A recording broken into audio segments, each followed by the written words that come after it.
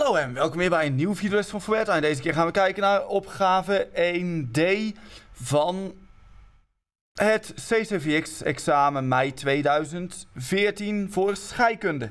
Op veel koperen voorwerpen die met vochtige lucht in contact staan, vindt men slecht oplosbare koper-2-verbindingen waarin carbonaat voorkomt.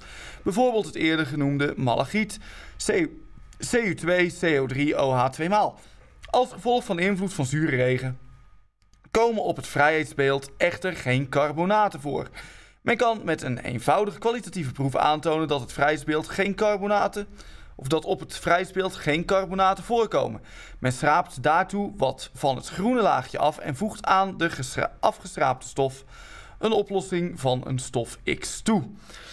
D1 geeft de formule van de stof X die voor deze proef geschikt is en geeft de formule van de stoffen die daarbij zouden ontstaan als wel carbonaten aanwezig zouden zijn. Nou, een van de eerste stoffen die bij mij in ieder geval naar boven komt, zou zijn dat we gewoon zoutzuur gebruiken. En als we zoutzuur gebruiken, dan krijgen we een zuur-basenreactie. En zoutzuur, dan hebben we de reactie H3O+, die met het carbonaat zal gaan reageren. En als H3O met carbonaat reageert, dan ontstaat H2O en dan ontstaat CO2. En dat is ook de hele clue van deze opgave, want dan komen we gelijk bij vraag D. Waarin kan, zien, kan men bij deze proef zien dat in de afgestraapte stof geen carbonaten voorkomen? Nou, heel simpel. Als er CO2 vrijkomt, CO2 is een gas.